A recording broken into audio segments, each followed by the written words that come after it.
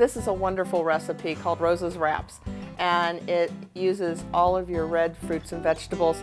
It's got lots of nutrient rich foods in it, but best of all, it's fun to eat. You can use it for appetizers, you can use it for lunches, anywhere. Easy take and go food. Using low fat cream cheese, we're going to put that in, a little bit of roasted garlic for flavor, some chopped red onions. We did some chopped sun-dried tomatoes and you can use the ones in oil, you can use the ones that are um, dried or you can use the ones that need to be reconstituted. And what we're doing is we're going to mix those with some roasted red peppers. Fresh from the garden, you can roast them on top of the stove or you can purchase them already jarred. And then we're going to add some great tomatoes.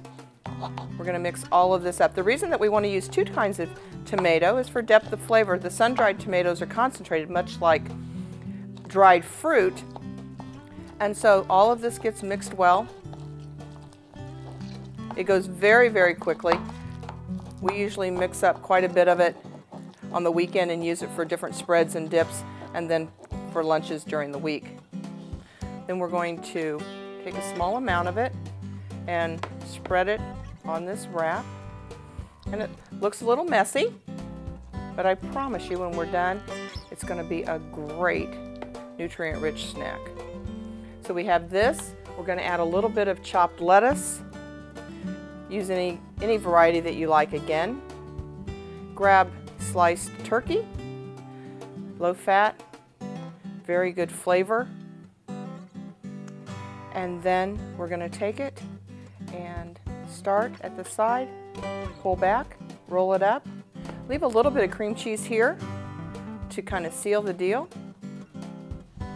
And then we're going to cut it. And it's all ready to go. The perfect nutrient-rich take-along. If you wanted to add a little bit of a confetti salad with it, you could. That recipe as well will be on our website. Just click the link and you'll have the salad. It's great in vitamin C with all the rich peppers, olive oil, and a little bit of mozzarella.